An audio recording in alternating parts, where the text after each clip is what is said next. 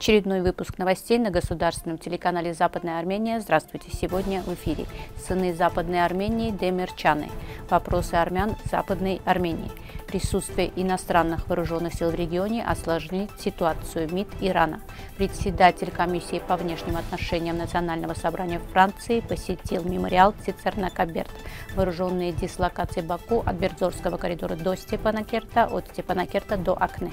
Шарль Мишель, похоже, не слышит, что Европарламент хочет сказать про Арцах Луазо. Фестиваль духовной музыки в Армении. 27 сентября 2020 года семья Демерчан готовилась отметить десятилетие самой младшей в семье дочери Адрианы. На рассвете раздались звуки взрывов, началась война. Старшие дети помогали 40-летнему Сереже Демерчану по скотоводству в Лисогоре. Остальные дети семьи находились с мамой в общине Иванян Аскеранского района. Как рассказывает старшая дочь Светлана, мы думали, что война скоро закончится, но увидев серьезность ситуации, 5 ноября уехали в Ереван. Отец и пятеро детей остались в Арцахе, поставляя на машине еду военнослужащим, пытаясь хоть как-то помочь. Поняв, что ситуация не стабилизируется, Сережа решил забрать детей из Лисогора. С ним были Шурины, Артуш, Сасун, Таруяны. Телефоны родных были недоступны. Дочь считала, что родные попали в плен. 15 ноября мы вернулись из Еревана в Арцах. 17 ноября позвонил дядя и сказал, мы их нашли. Позже выяснилось, что по дороге в Лисогор автомобиль УАЗ, которым управлял Сережа, был под подорван азербайджанцами. Сережа, Артур и Сасун погибли. Семья Демерчан живет в своем доме в селе Иванян Аскеранского района. Восемь из десяти детей несовершеннолетние. Старшим детям без отца сложно, младшие пока не осознают этого. Спасательные отряды нашли тело Сережи Демерчана 12 ноября на дороге Шуши-Лисогор. О свидетельстве о смерти записана дата 9 ноября. Сережу похоронили в селе Дебедаван Ноемирянского района. Война подвергла новым испытаниям ход развития армяно-курдских отношений. Лидеры монодатурок прекрасно осознавали, что логическое решение вопроса армян Западной Армении может привести к независимости Армении. Даже они были готовы смириться с потерей обширных и богатых арабских земель, но только не Армении, поскольку она была на дороге, ведущей к Великому Турану, который имел жизненно важное значение для турецкого народа.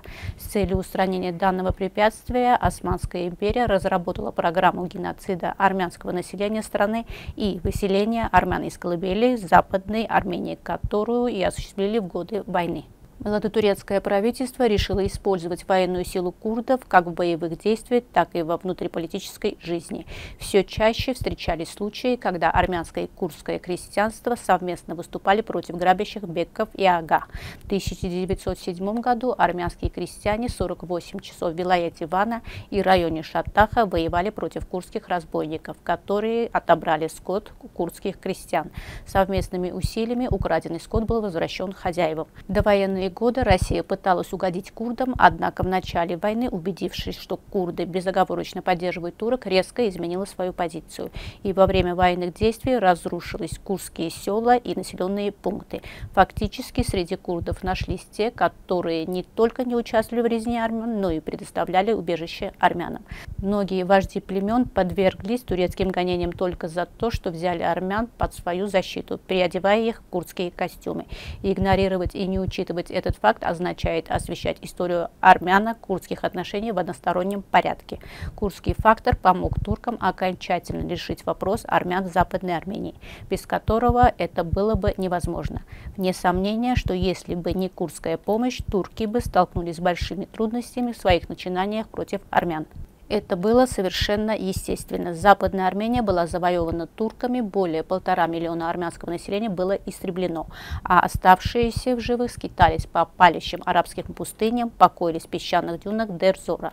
В результате геноцида на территории Западной Армении курдский этнический элемент приобрел доминирующее положение и составил большинство. Казалось бы, осуществлялась обещанная младотурками курдам программа создания автономного Курдистана.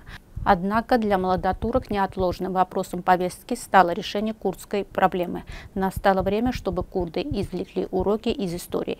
Сегодня проживающие в Тигранакерте исследователи Аднан Челик и Намк Кемальдинч записали устные воспоминания курдского населения Тигранакерта о геноциде, совершенном против армян, назвав их «Столетняя боль. Следы общественной памяти 1915 года в Тигранакерте». В книге говорится про дружественные армяно-курдские связи, традиции, культуры быта, быта, армяно-курдских столкновениях и переживаний геноцида.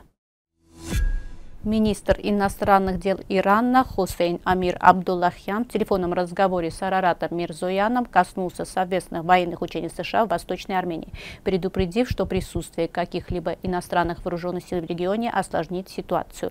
Иранский министр подчеркнул необходимость поиска решения региональных проблем для достижения прочного мира. Диалог и региональные механизмы, включая формат 3 плюс 3 Армения, Азербайджан, Грузия, Россия, Турция, Иран, являются наиболее эффективным путем достижения достижения прочного мира. Правительство Западной Армении может понять обеспокоенность властей Ирана касательно присутствия иностранных сил во время совместных военных учений в Армении, но нужно также учитывать присутствие джихадистов во время войны 2020 года на границах Западной Армении, Арцах плюс Нахидживан при поддержке Турции, западных и израильских военных технологий, а также молчание Ирана.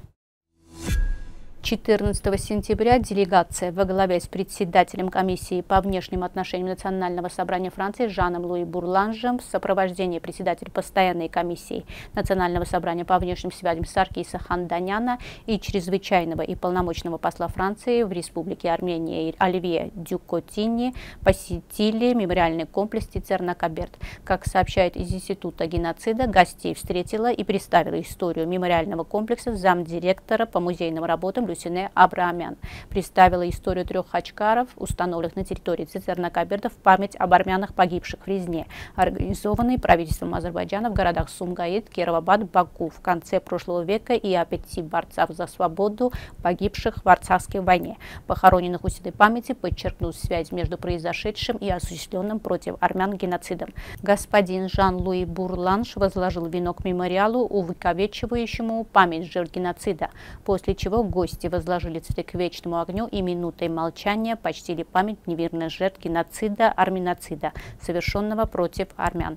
Гости осмотрели музей геноцида, где в сопровождении старшего экскурсовода музея Асмик Мартирусян ознакомились с постоянной и временной экспозицией, после чего господин Жан-Луи Бурланж сделал запись мемориальной книги почетных гостей.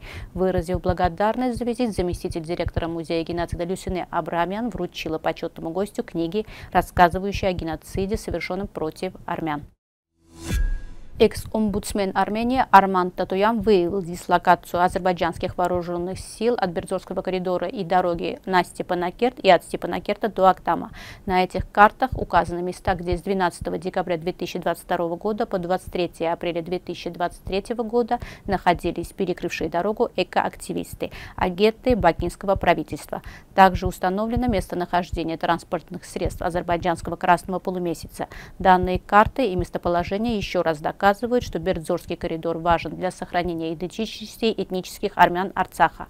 Открытие Агдамской дороги представляет собой антологическую угрозу для армян Арцаха и не может быть альтернативой Бердзорскому коридору. Шарль Мишель, похоже, не прислушивается к тому, что Европарламент хочет сказать про Арцах. Об этом написала глава Готкомитета по безопасности и обороне Комитета по международным отношениям Европарламента Натали Луазов в своем официальном микроблоге Twitter. Россия – это не решение, консультации с Турцией – не очень хорошая идея. Европейская дипломатия должна прекратить импровизировать и стать сильнее. При содействии Министерства образования, науки, культуры и спорта Республики Армении Национальный центр камерной музыки проводит фестиваль духовной музыки, в рамках которого будут проведены областные концерты. 22 сентября в храме Патагни состоится концерт с участием Государственного камерного хора Армении, художественный руководитель и главный дирижер Роберт Мелкеян и Государственного камерного оркестра Армении, художественный руководитель и главный дирижер Ван Мартиросян. Дирижер концерта – народный артист Республики Армения Роберт Мылкеян. В концертной программе прозвучат произведения Комитаса, Мансуряна, Моцарта, Шуберта, Форе, Барбери и прочих. 23 сентября в церкви Сурб Ас-27 Быжни пройдет концерт с участием Государственного камерного хора «Овер», дирижеры Сона Оганесян и Нарине Восканян и Ереванского государственного камерного хора художественный руководитель и дирижер Кристина Восканян. Будут исполнены произведения Саака Партева, Нерсеса Шнурали, Комитаса, Аванесова, Казаряна, Лотти, Бухенберга, Вакска, Мантьярви. Начало концерта в 19.00. Вход на мероприятие свободный. И в завершении новостей послушаем Русине на Петян Орим Орим.